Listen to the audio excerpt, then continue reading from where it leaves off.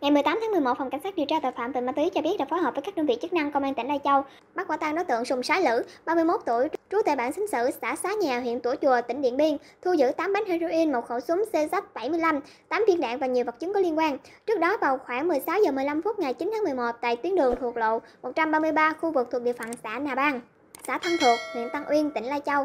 Các lực lượng chức năng đang làm nhiệm vụ phát hiện người điều khiển xe máy có biểu hiện nghi vấn vận chuyển trái phép chất ma túy. Tổ công tác đã nhanh chóng áp sát và kiểm tra. Khám xét người và phương tiện của đối tượng sử dụng, lực lượng công an thu giữ 8 bánh heroin, một khẩu súng có nhãn hiệu CZ75 và 8 viên đạn, một xe máy và nhiều giấy tờ có liên quan. Tại cơ quan công an ban đầu, đối tượng khai nhận Sùng Sái Lữ được thuê vận chuyển số ma túy trên từ huyện Tủa Chùa, tỉnh Điện Biên sang Lai Châu tiêu thụ.